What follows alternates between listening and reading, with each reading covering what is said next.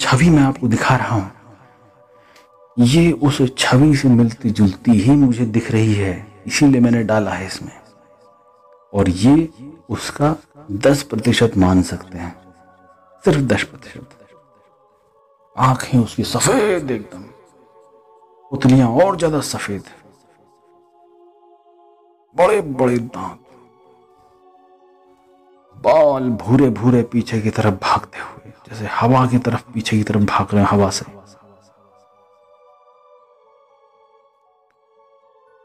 चेहरे पे एक अजीब सा तेज था, एक गंदा वाला तेज था। गंदी ऊर्जा जैसी थी। लेकिन उसकी भी एनर्जी बहुत पावरफुल थी। उसके सामने भी बैठना बहुत बड़ी हिम्मत की बात थी।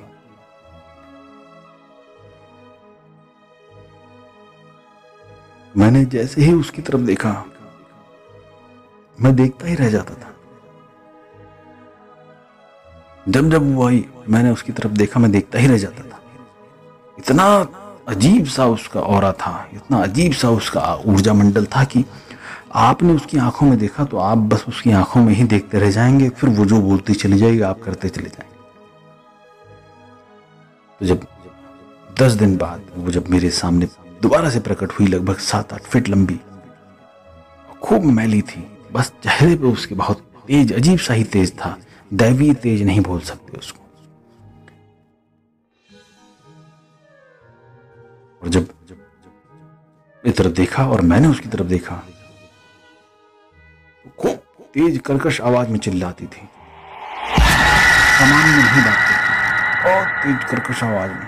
आधी बात तो समझ में ही ना आए। इतना तेज है। और इस आक्रोश में कोई भी व्यक्ति, कोई भी साधक लड़ाई करने को आतुर हो सकता था अगर उग्र प्रवृत्ति का है। और शांत प्रवृत्ति का है तो वहाँ से डर के भागने में ही अपनी भलाई समझता। लेकिन पुरानी बहुत साधनाएँ करी हुई हैं तो उसके अनुभव साथ में थे कि डरने का तो कोई अर्थ है नहीं। आप डरे तो मरे, डरना वैसे भी मुझे नहीं लगता है, आज तक नहीं लगा, कभी नहीं लगा। है कोई भी साधना हो, कोई भी चीज़ हो, कोई भी स्थिति परिस्थिति हो,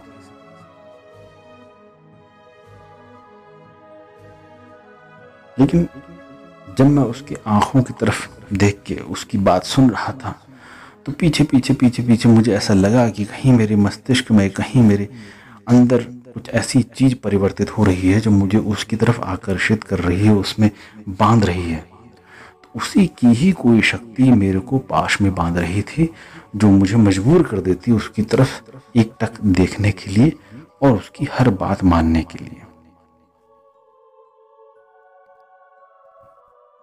और जैसे ही वो आती थी, आसपास अजीब से ढेर सारे चमगादड़ पशु, पक्षी, चिल्लाना, चीखना, इतना दिमाग खराब करते थे, इतना चिल्लाते थे कि मुझे कभी कभार तो इतना इरिटेशन सी हो जाती थी अंदर से कि मैं इसको देखूँ, अपनी साधना करूँ, कि अपने आप को संभालूं कि मेरा उचाट हो रहा है, कि मैं करूँ तो करूँ क्या? एक तरफ़ ये सामने मेरे को साधना से उठाने के लिए, एक तरफ़ मैं स्वयं साधना से उठने के लिए उचाट को संभाल रहा हूँ क्यों कोई अपनी जान जोखिम में डाल के इतनी दूर इस प्रकार से साधना कर रहा है? ये भी कई बार आता था अरे चुपचाप शांति से जो साधना कर रहे हो, बाहर वो करो। क्यों इतनी अपनी जान यहाँ जोखिम में डाल रहे हो? ये ये सब आता था। क्या लाभ है? क्या हो जाए? साधना तुमने करके वैसे भी छोड़नी है। पहले भी छोड़ी तो फिर क्यों कर रहे हो? लेकिन नहीं। तो भीतर एक आग थी। उस आग को ये साधना वेलकम करती थी। जिस जिस प्रकार की साधनाओं में गया हूँ, जितनी भी उग्र साधना रही है,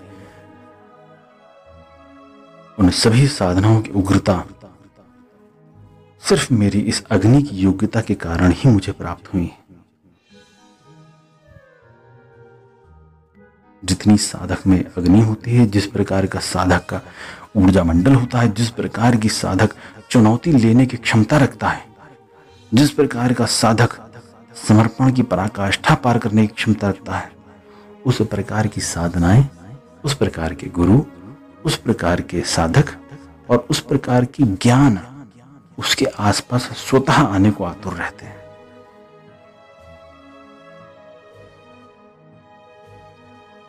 धीरे धीरे धीरे धीरे ये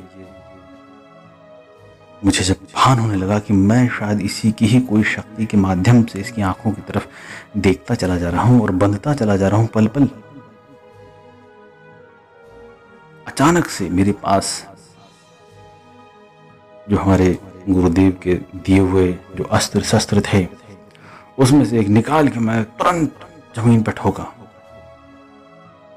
जहाँ आसन था मेरा, उसी के समक्ष मैंने ठोका। और सब गायब। एक सेकंड भी नहीं लगा, सब गायब हो गया। ये है गुरु की शक्ति, गुरु की ताकत। और गुरु की ताकत भी मैं बाद में कहूँगा। ये है अपना साधक का गुरु के प्रति समर्पण विश्वास। लोग कहते हैं, अंधश्रद्धा बहुत गलत चीज़ है। मैं साधना क्षेत्र में सिर्फ़ अंधश्रद्धा को ही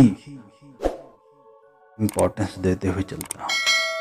अंधश्रद्धा अर्थात आपने देखा नहीं और आपने जान लिया। मान लिया, यहाँ ऐसा होगा, उसने बोला तो होगा ही होगा। आप दुनिया में सांसारिक चीज़ों मत मानो। लेकिन जो गुरु आदेश आ गया, जो गुरु ने बोला, उस पर अगर आपकी अंधश्रद्धा है तो स्वतः चीज़ें कार्य करती हैं, ये मेरे अपने जीवन का अनुभव है और आप भी स्वतः अनुभव करेंगे। मेरे अपने स्वयं के शिष्य बहुत अनुभव करते हैं इस चीज़ को, जो पूरी तरीके समर्पित है। ऐसे बहते हुए जैसे पानी बहता है नदी में ऐसे ऐसे उनके कार्य होते हैं बिना कुछ डिमांड किए, बिना कुछ कहे। और उस पर उनको अश्रु भाव छूटते हैं। कि क्या कर दिया गुरु ने? कितना महान गुरु। ना ना ना ना, कोई गुरु महान नहीं। ये तुम्हारी महानता है जो तुम उस पर अंधश्रद्धा कर पा रहे हो। तब उस गुरु की तरफ़ से चीज़ें बहती भी तुम्हारे पास आती हैं। जहाँ तुम पॉलिटिक्स करने लगे, जहाँ तुम दूसरों की बातों में आने लगे, जहाँ तुम्हारे अंदर कुछ विचार आने लगे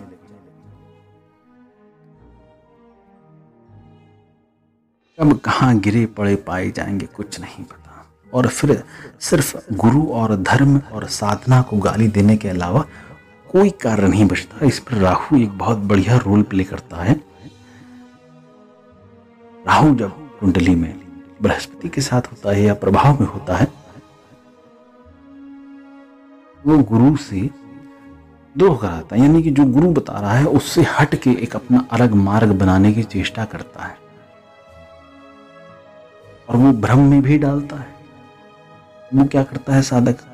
कभी कुछ सोचेगा, कभी कुछ सोचेगा, कभी कुछ करेगा, कभी कुछ करेगा, नशे में पड़ा रहेगा, मुँह जवान गंदी रहेगी। इस प्रकार के चीज़ों में भी राहु का बहुत बड़ा योगदान है वो भटकाता है। गुरु से भटका देगा। राहु को ही वो अपना गुरु मानना स्वीकार कर देता है। राहु का क्या कार्य है? वो अपने कार्य में सफल हो जाता है, भटका देता है। तीन, चार, पाँच, छह, दस साल बाद फिर जब साधक को होश आता है, तब हाथ मलने के अलावा कुछ बचता ही नहीं कि समय बर्बाद कर दिया दस साल। कुछ नहीं मिला। फिर वो यही कहता है कि अब तो जो मैंने जान लिया, किताबों से पढ़ लिया, जैसा मैं हूँ वैसा ही ठीक हूँ। ठीक है तो फिर उसके अलावा कोई चारा बचता ही नहीं है तो यही करना ही पड़ेगा।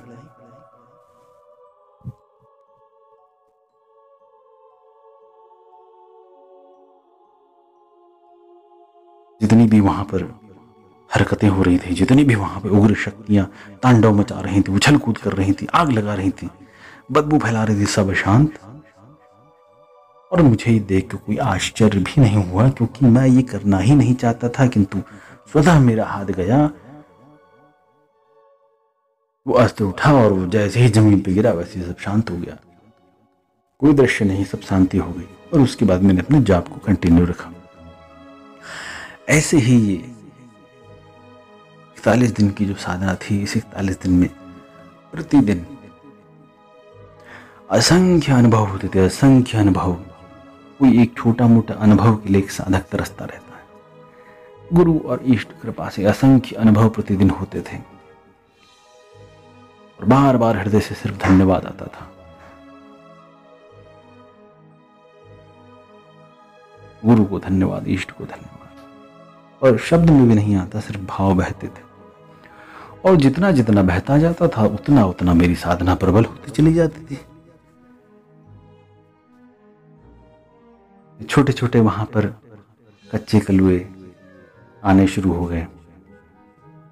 खेलते रहते गंजे गंजे से छोटे छोटे से काले काले से। भागते, मेरे पास आते, फिर भाग जाते, फिर मेरे पास आते हैं कि लाओ मिठाई लाओ लाओ मिठाई लाओ।